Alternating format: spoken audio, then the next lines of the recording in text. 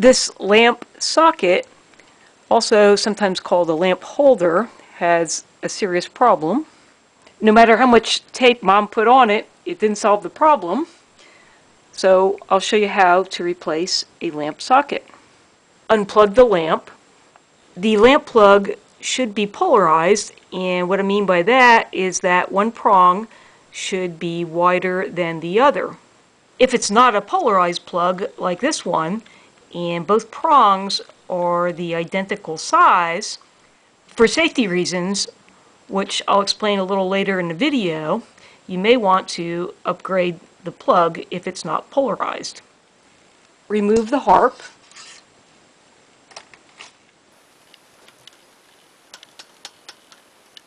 I recommend spending a couple extra dollars and buying the better grade lamp holder.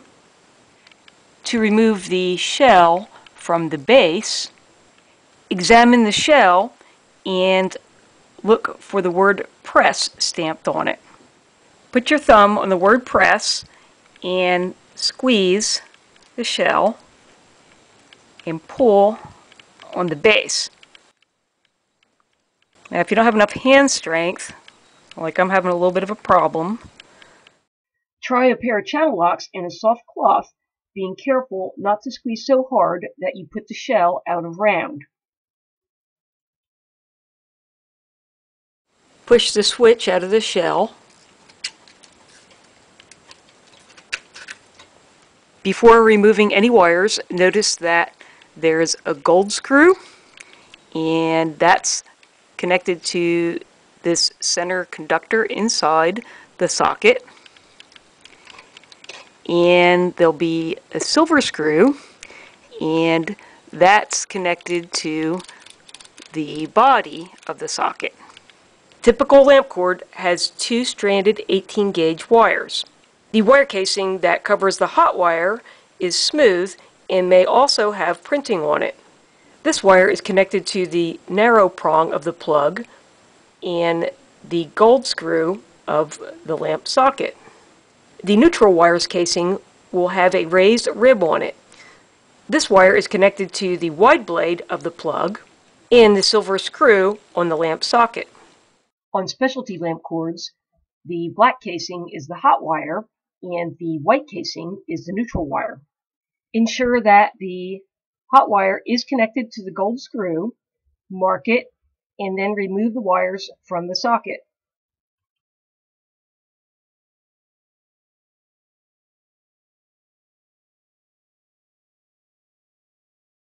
To prevent the wires from accidentally being torn off of the lamp socket, there should be a UL knot tied beneath the socket. If you need to change the base of the socket, take note of how the knot is tied. If you get stuck, I'll make an additional video of showing how to tie a UL knot. Click on the channel name Know How Now and check the playlists to find it. Untie the knot, remove the old base, and install the new one.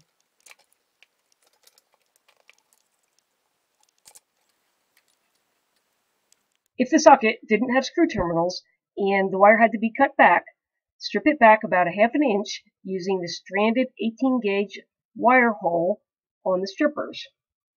Twist the strands and make a shepherd's hook.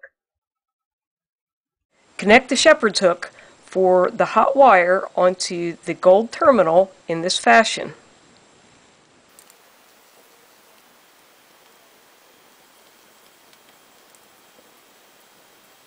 It's important not to connect the hot wire to the silver screw because the threads of the socket will be energized. If the threaded part of the socket were to make contact with the body of the lamp, the lamp would be energized. Connect the ribbed wire to the silver connector. If you had to untie the UL knot, you'd want to retie that prior to making any connections to the socket. To cinch up the UL knot, give the cord at the bottom of the lamp a slight tug. Push the socket down and line the sleeve up to the correct position. Push the sleeve down onto the base until it clicks. I hope you found this video helpful. A thumbs up is always appreciated. Click on the channel name, know how now to find other videos, and thanks for watching.